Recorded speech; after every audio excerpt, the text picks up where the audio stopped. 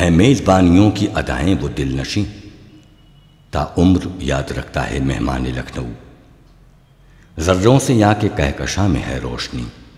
شمس و قمر ہیں یہاں بعض گزاران لکھنؤ۔ دیکھے ہیں ہم نے سینکڑوں گلشن جہان میں، لیکن نہیں جواب گلستان لکھنؤ۔ آبادیاں حسین کے صدقے میں ہیں بہت، ہیں امام والے رونق ایوان لکھنؤ۔ شہر دلی کو اگر ہندوستان کا دل کہا جاتا ہے، تو شہر لکھنؤ اس ملک کے ہونٹوں پر سجی ہوئی ایک حسین مسکراہٹ کا نام ہے۔ شہر تہذیب، شہر ثقافت، شہر علم و ادب، شہر مہمان نواز اگر کوئی شہر ہے، تو وہ شہر لکھنؤ ہے۔ شہر لکھنؤ نے اپنے شیریں زبان و بیان سے لاکھوں کروڑوں اربوں لوگوں کے دل جیتے ہیں۔ اس شہر نے اپنی شہرت ان تمام چیزوں کے علاوہ بھی کئی دوسری چیزوں سے حاصل کی ہے۔ مراد شہر لکھنؤ کی حسین تعمیرات سے ہے، جس کی شروعات لکھنؤ میں قدم رکھتے ہی یہاں کی مشہور و معروف عمارت چار باغ ریلوے اسٹیشن سے ہوتی ہے۔ شہر میں داخل ہوتے ہی بے شمار انواع و اقسام کی خوبصورت اور تاریخی اہمیت کی حامل عمارتیں آپ کو جا بجا نظر آئیں گی۔ اس شہر کو خوبصورت اور تاریخی حیثیت کا حامل بنانے میں نوابین اودھ نے بہت اہم کردار ادا کیا ہے۔ انہیں تاریخی اہمیت کی عمارتوں میں نوابین اودھ کے دور حکومت میں تعمیر کیے گئے حسین و جمیل امام باڑے بھی بڑی اہمیت کے حامل ہیں۔ انہیں امام باڑوں میں ایک بہت ہی مشہور و معروف امام باڑہ راجہ جھاؤ لال کا امام باڑہ بھی ہے۔ محلہ ٹھاکر گنج اودھ کے ان پرانے علاقوں میں ہے، جس کا ذکر اودھ کی تاریخی حوالوں میں بار بار آیا ہے۔ یہ لکھنؤ شہر کا وہ صدر مقام ہے جو دلی روہیل کھنڈ اور اودھ کے علاقوں کو جوڑنے والے مین روڈ پر واقع ہے۔ نوابی دور کی مشہور ہندو بستیوں میں رانی کٹرا، راجہ بازار اور ٹھاکر گنج کا نام لیا جا سکتا ہے۔ اسی ٹھاکر گنج کے بیچ سڑک کے بائیں کنارے پر بابا گومتی داس کا مندر اور شیعہ بیت المال، دو قدیم مذہبی مقامات قریب قریب بنے ہوئے ہیں۔ یہ گزرے وقت کی مذہبی ایکتا کا ثبوت ہیں۔ سب سے خاص بات یہ ہے کہ بابا گومتی داس کے مندر کا خرچ نواب آصف الدولہ نے اٹھایا تھا اور شیعہ بیت المال کو ان کے خاص نائب راجہ جھاؤ لال نے منوایا تھا۔ اسی لیے شیعہ بیت المال کو جھاؤ لال کا امام باڑہ بھی کہا جاتا ہے۔ اگر بابا گومتی داس کے مندر کا ڈیزائن مغل بارادری جیسا ہے اور شاہ جہانی محرابوں سے سجی ہے، تو امام باڑہ بیت المال، جس کو راجہ جھاؤ لال کا امام باڑہ بھی کہتے ہیں، اس کی اندرونی بناوٹ راجپوتی کلا پر مبنی ہے۔ جن کے دائیں بائیں دونوں جانب چندر کلائیں اور دھنش کی طرح ڈیزائن بنا ہوا ہے۔ راجہ جھاؤ لال سکسینا کائس تھے۔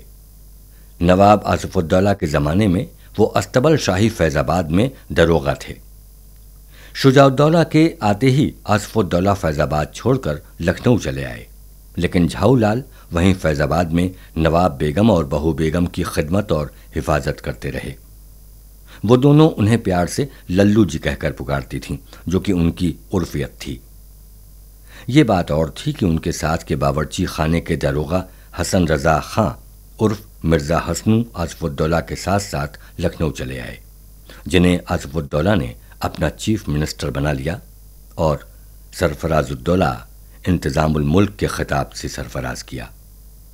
راجہ ٹکیت رائے انہی کے اسسٹنٹ رہے ہیں۔ آصف الدولہ نے راجہ جھاؤ لال کو فیض آباد سے لکھنؤ بلوا لیا اور پہلے ان کو توپ خانے کا دروغہ بنایا، پھر میر بخشی تنخواہ تقسیمی بنا کر خلط عطا فرمائی۔ اب ان کو سفر کے لیے ہاتھی اور جھالدار پالکیاں ملنے لگی تھیں۔ ان سب شان و شوکت کی وجہ سے ان کو راجہ جھاؤ لال کہا جانے لگا۔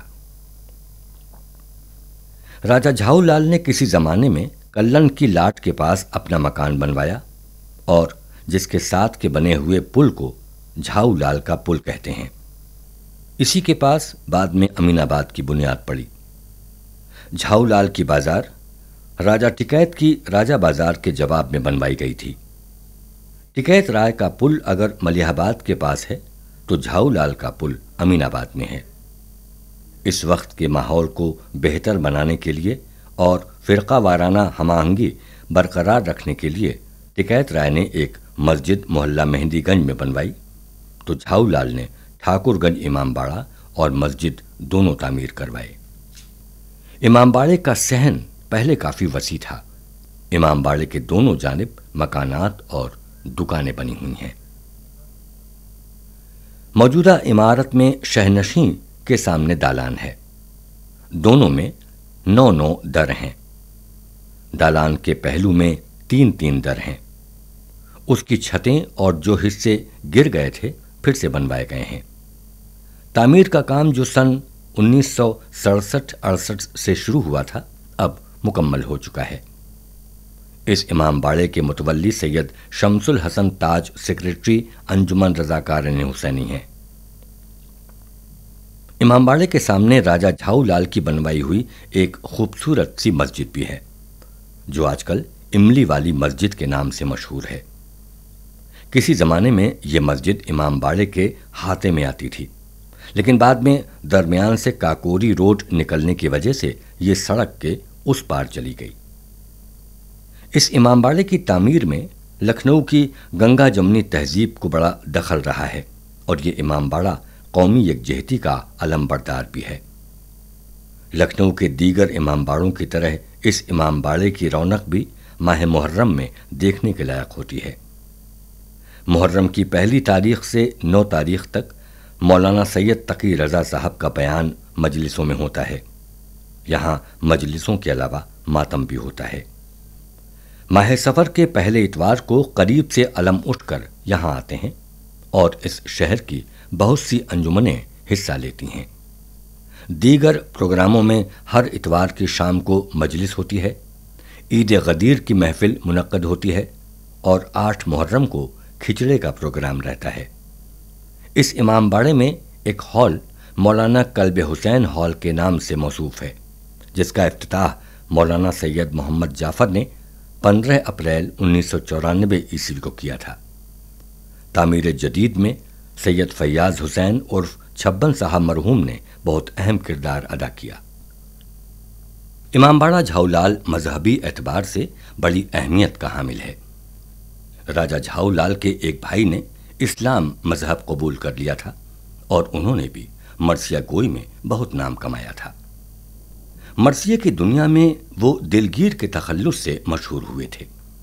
انہوں نے اپنے مرثیوں سے امام حسین کے ساتھ اپنی عقیدت ظاہر کی ہے۔ امام باڑہ جھاؤ لال آج بھی شاہان اودھ کی عظمت، فیاضی اور لکھنؤ کی شان و شوکت کا ضامن و مظہر ہے اور قومی یکجہتی کا علم بردار ہے۔